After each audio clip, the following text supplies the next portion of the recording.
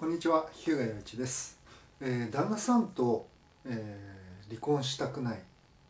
で離婚回避したい、えー、奥さんたちについ、えー、のために、えー、この動画を撮っています。で、えー、まあ男性というのはですね、まあ、あんまりその、まあ、自分の気持ちを上手に表現できないというかあのちゃんと説明できない人が多いんですね。ですのであの例えばもう好きじゃなくなった。言って別れたいっていうあの男性がいてあ、まあ、ご主人に言われて、まあ、どうしたらいいか分かんないっていうふうにして、まあ、私のところに来られるあの女性のクライアントの方々がたくさんいらっしゃいます。であの、まあ、私が、えーと、聞くのはですねあのまず一つはあの性生活のことですね。性生活はどうですかとこれが一個あの聞くことそしてもう一つはあの言葉えーと、奥さんの言葉があのきついとか、えーと、怖いこの辺はどうですか？っていうことを聞くんですよね。であの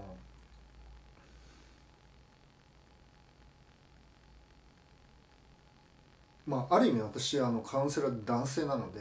あの男性の気持ちがよくわかるわけですよね。であのカウンセリングの、まあ、世界は女性がすごい多いっていうかカウンセラーも女性が多いのであの男性の気持ちをよく分からずにあの、まあ、カウンセリングしている女性のカウンセラーの方もあのかなりいらっしゃいます。であのまあそれはいけないっていうわけじゃないんですけどそういう方々もあのすごくあの力になることができると思いますけどあのやっぱりこの性生活と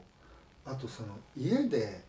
えっと、安らぎ慰めが得られるっていうことが男性が一番願っていることなんですね。で性生活っていうのはあの肉体的な満足じゃなくてあの本当にあの慰められる、まあ、癒されるっていうあの癒しですよね。あのそのあの効果がすごく大きいわけですね。でそういうものがないと、まあ、男性は辛いわけです。ですので、まあ、セックスレスで辛いあのそういうあの男性側の相談も私は受けますけどあの、まあ、まず、えっと、離婚したくない離婚回避したいっていう時はあの女性のクライアントの方々に皆さんにそのこの2つをあの確認するんですね。でそこをあの本当に改める、まあ、そこをあの決心して変わっていくっていうふうになるとあのご主人がすごくあのの心が戻ってくるっていうことがあるわけですね。でまあこれは今あのすごく単純化した話ですのであのこの動画ではここまでしここまでというかあまり深くあの話すことはできない、まあ、なぜなら一人一人、まあ、人間というのは違いますのであのその状況に応じてねあの解決策っていうのは変わってくるわけですけど、まあ、根本的な男性の必要っていうのがあるわけですね。まあ、それを理解して満たしてあげることそしてそれを満たしてなかった自分自身に自分自身の足りなさに気づくことっていうのが、まあ、離婚を回避するためにとても重要になってきます。